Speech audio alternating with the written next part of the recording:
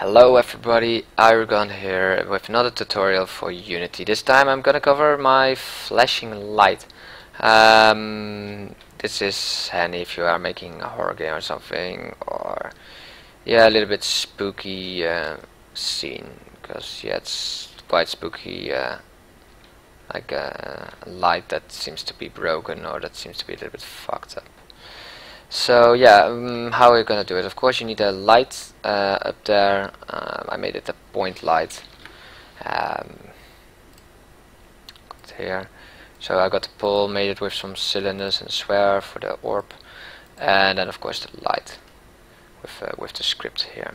So I already made a script, uh, but I'm gonna show you how to make it. So we create a new script. I make a C sharp script, and we call it flickering There we go. And we open it in mono develop.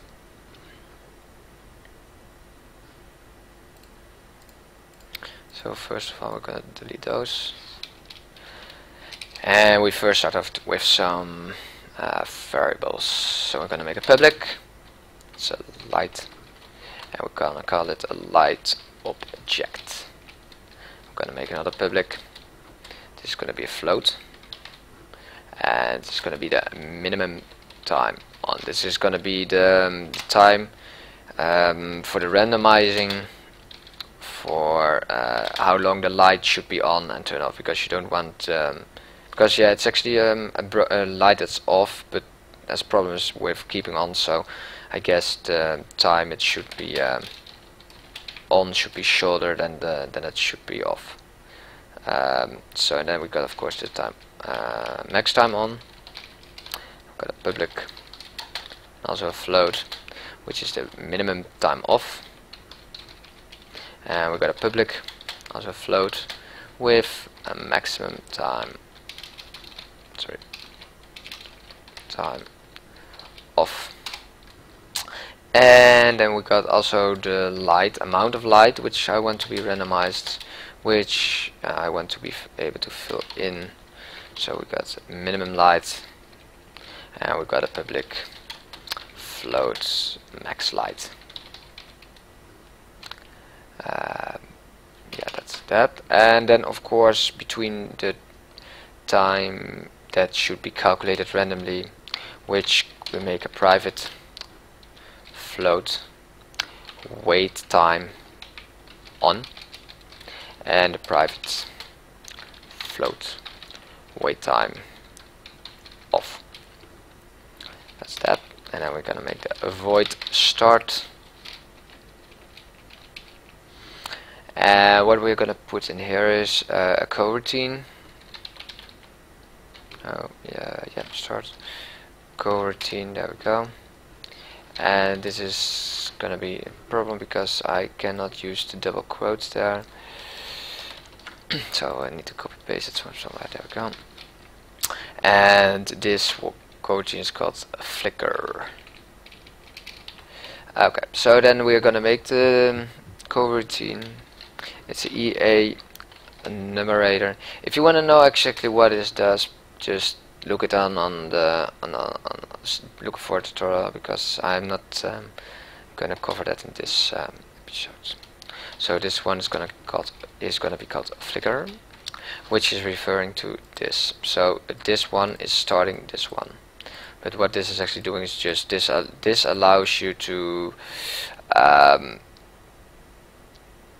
a coroutine um, allows you to actually pause your script in within your uh, function. Like the update function does not allow like wait functions or something like that. Um, so we got that. Okay, so we want to first want to check if light object uh, dot enabled is true. So it means if it's on at the moment. Um, we want the wait time on um, needs to is random dot range the minimum time on and the uh, max oh, okay, max time on. so what this is doing it's um, using this those two. It's gonna pick a random uh, float uh, between minimum time on the value we put in there and the maximum time on which we put in there. Um, and it's gonna store it in wait time on this this one so then we got the time that we actually want the script to wait before it's gonna turn it on or off.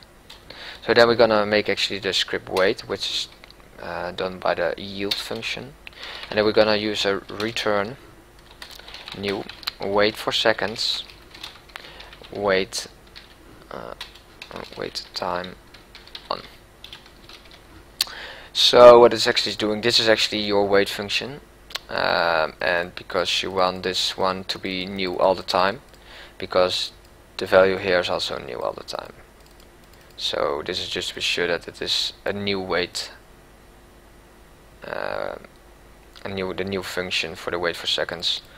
Uh, yeah. And then of course we got the uh, light object dot enabled it equals false so what it's actually doing is so it's gonna check if it's on then it creates a random time that needs to wait and after that it's gonna turn the light off. Um, and then of course we want it to um, restart the coroutine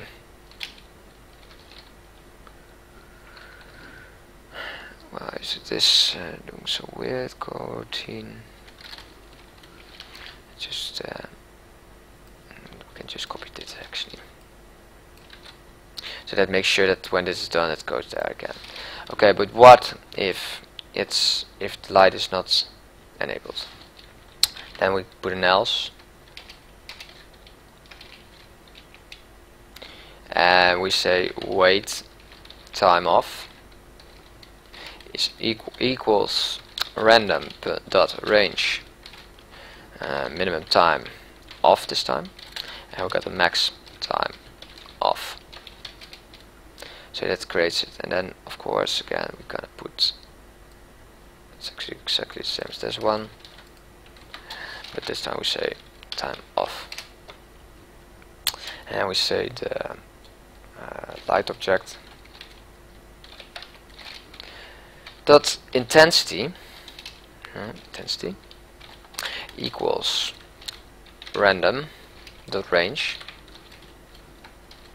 Minimum light min min light and max light. Which are those uh, those two? So what it's doing if if or light is off at the start of this or it's disabled it's gonna skip this of course and going to the else function. And then of course it is off so we want it to be on but we don't want it to be on always on the same amount of light. So that's like this part. So we wait a few seconds and then we put the intensity to that before we're actually gonna put it on. And after that we say light object dot enabled is true which will put the light on. And then of course we just say to restart this. All over again and then of course we need to end this all with and that's not going as planned. Let's keep it nice and um, good.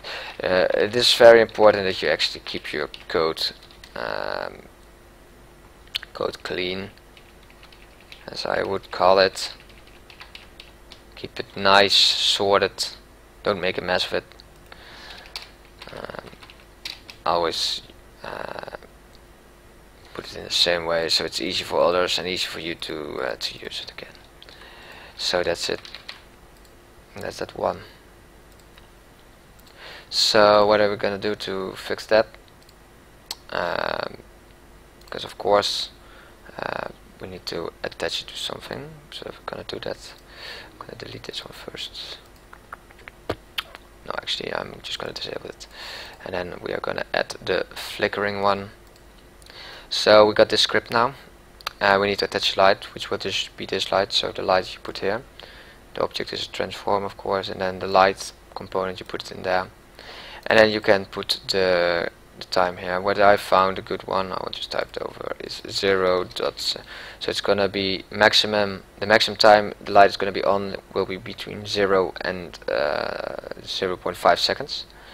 Um, same goes for the minimum time off. It could be zero, uh, zero, but it could also be one, which means that it is possible for the light to be twice as long off than it should than it is maximum on. And then of course the minimum light is something you you would prefer yourself. In my case, I would put it on this one. It completely depends on how high do you put it. So like because this looks like cool here, but here it looks stupid. You want to be um, not so bright. So yeah, that's it. Um, and now if we play test it, start my server. I also put this on, by the way. Let's see, L puts on uh, toggles the flashlight. Also, I got the third-person shooter version. You can just switch between. And as you can see, I will put the flashlight off. We can see that it is um, working properly. Doing it a little bit random. Again, if you want, yeah, you could put it on like the minimum amount. It should be on like maybe if you don't want it to be exactly zero, because of course that might look stupid to put it on this. Um, it, maybe it looks a little bit nicer for you. Completely depends on, on what you uh, really want.